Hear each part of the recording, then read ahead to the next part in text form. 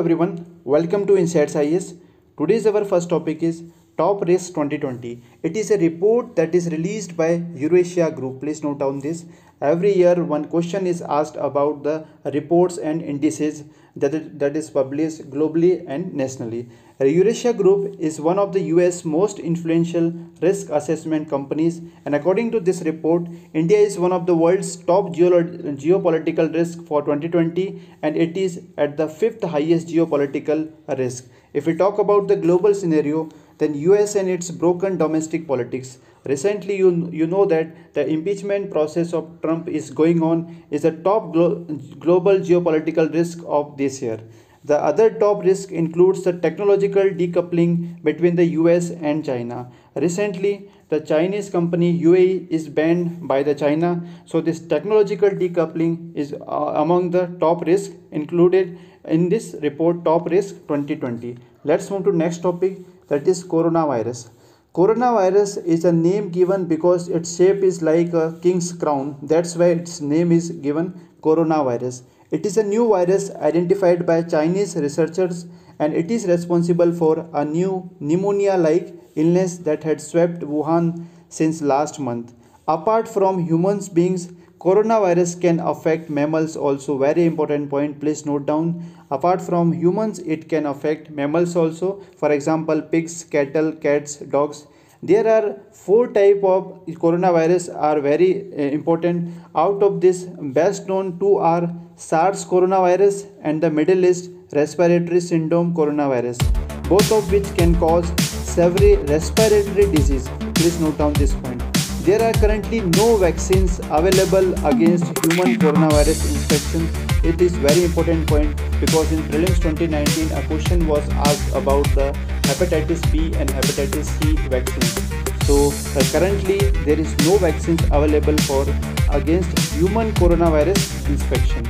Let's move to next topic that is Supreme Court verdict on curb imposed in J&K. In this article we will first uh, talk about some important relevant article that is article 19.1a.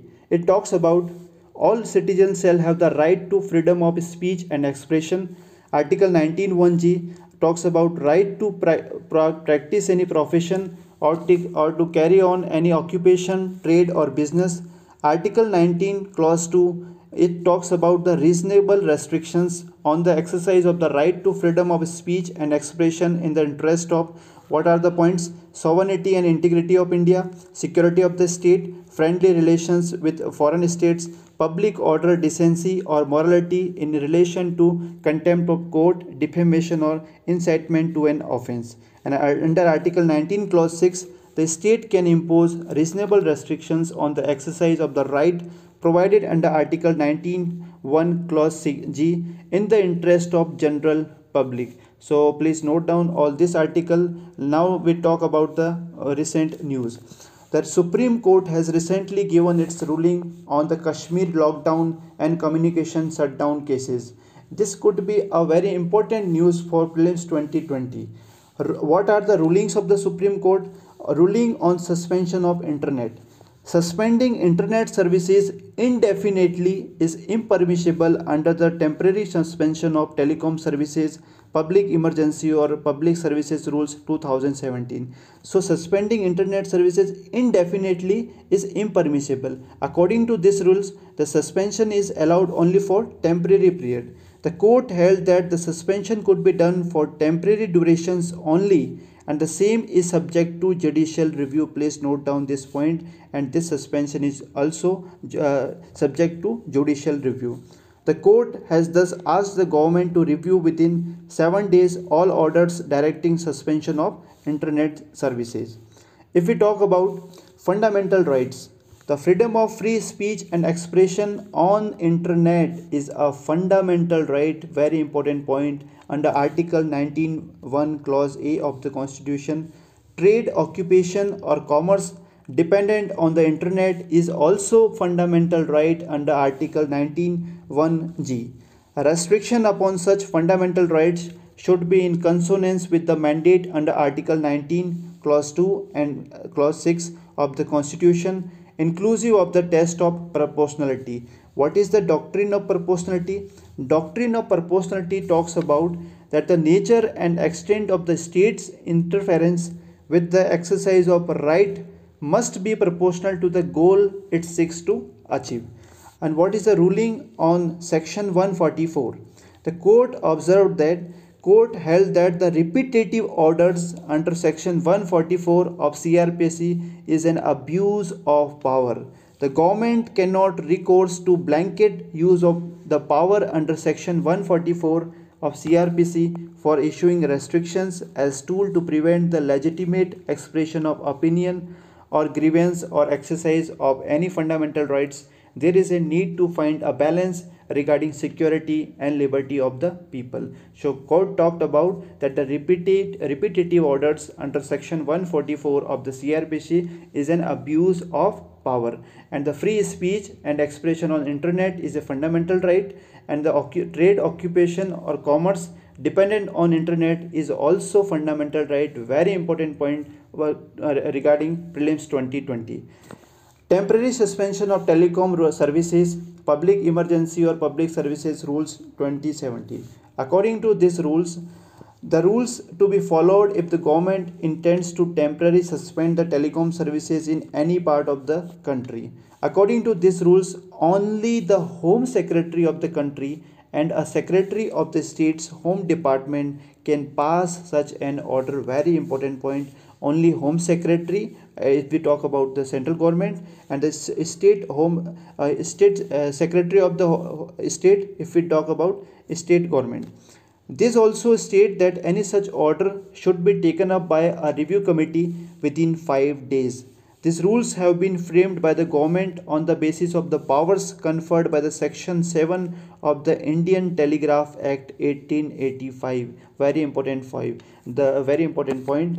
These rules get the power from the Indian Telegraph Act 1885 relevant article we just discussed and if we talk about section 144 of the Code of Criminal Procedure section 144 of the CRPC empowers a district magistrate, a sub-divisional magistrate or any other executive magistrate especially empowered by the state government in this behalf to issue orders to prevent and address urgent cases of apprehended danger or nuisance. What are the power given? The magistrate can direct any person to abstain from a certain act or to make a certain order with, with respect to certain property in his possession or under his management.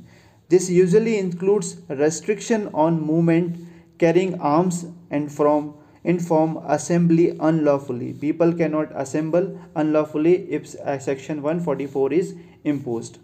Next topic Nalbana bird sanctuary. Recently it is why it is in news because recently a record number of migratory birds have arrived at the Nalbana bird sanctuary. It is located in Odisha. You can see in the map eh, here is a Chilka lake and it, it is the Nalbana Island and located Nalbana Bird Sanctuary located on Nalbana Island in the Chilka Lagoon area in Odisha. It is core area of Chilka Lake so it is part of Chilka Lake also. It declared bird sanctuary in 1987 and the island disappears during the monsoon season. Few important migratory birds seen here are bar-headed geese, greater flamingos, herons, black-tailed godwits and rare great knot. Uh, this great uh, knot was seen after 5 years. If, if we talk about Chilka Lake, we recently discussed two to three days before, but uh, Chilka Lake is Asia's largest and world's second largest lagoon after the New Caledonian Barrier Reef in New Caledonian. Great knot, it is an international migratory bird uh, and according to IUCN, its status is endangered, very important point according to prelims 2020 next topic that is operation sankalp. You can see in the map here is the strait of hormuz here is the iran here is the persian gulf so what is operation sankalp under this indian navy continues to deploy one warship for operation sankalp in order to ensure the safe passage of indian flag vessels transiting through the strait of hormuz amidst deteriorating us iran relations Indian Navy launched Operation Sankalp in the Gulf region on 19th June 2019. So Indian Navy warships and aircraft are deployed to establish presence, provide a sense of res- resurgence to the Indian mer- merchantmen, monitor the ongoing situation and respond to any emergent crisis that deteriorating US-Iran relations in the recent time. So please note down this Operation Sankalp. Next topic, Nepal's Seke near extinct. What is Seke? Seke is a language Recently, the New York Times reported that the near extinct Nepalese language Seke has just 700 speakers around the world and it is on the verge of ex- extinct. It is a unwritten language and this language has three dialects named Tangbe, Tetang and Chuksang. Please note down this. According to the Endangered Language Alliance, Seke is one of the over 100 indigenous languages of Nepal. The vulnerability of the language is linked to the migration of people to the places where Seke is not spoken. The younger generation does not find much use in learning the language, giving preference to Nepali and English uh, while considering the employability situation. According to UNESCO, there are six degree of endangerment of languages that is safe, vulnerable, definitely endangered, severely endangered, critically endangered languages and extinct languages. Extinct languages are those languages which has no speakers are left. So considering this definition at present Seke is at definitely endangered language category. The last year 2019 was the international year of indigenous languages mandated by the United Nations. As per the Endangered Languages Report, there are roughly 201 endangered languages in India and about 70 in Nepal. Let's move to previous year's question. Which of the following was a very important seaport in the Kakatiya kingdom? This, this question was asked in prelims 2017 and this port was Motupalli.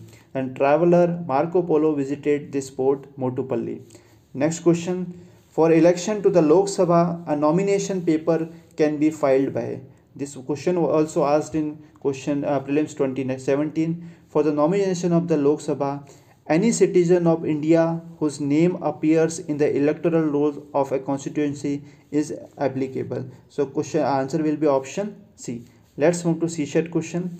If this means divided by at the rate means multiplied by hash means minus then the value of this is so here this symbol means divide at the rate means multiply and dollar means divide at the rate means multiply and hash means minus. So if i convert this so it becomes like this. According to BODMAS first we solve bracket then off then division multiplication addition and then subtraction. So first we solve uh, this 1 by 5 multiply by 5 this cancelled by 5 it becomes 1 10 minus 1 answer is 9 so 9 is at option d. So friends that's all for today. Have a nice day. Thank you